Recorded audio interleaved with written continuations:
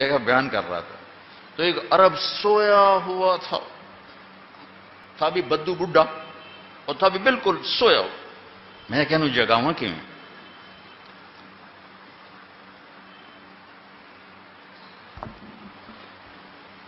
वो ऐसे पूरी नियत करके सोया होता था भाई सुननी ही कोई नहीं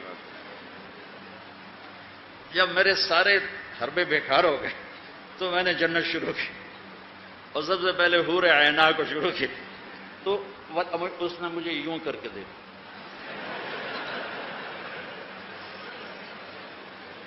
पहले एक आँख से देख फिर यूँ हुआ। फिर यूँ हुआ। फिर हा, हा, हा। अच्छा और मज़े को और जब मैंने मान का बताया ना हूर के साथ तो वो खड़ा होकर नाचने लगा। हर हर हर मैं क्या काबू आए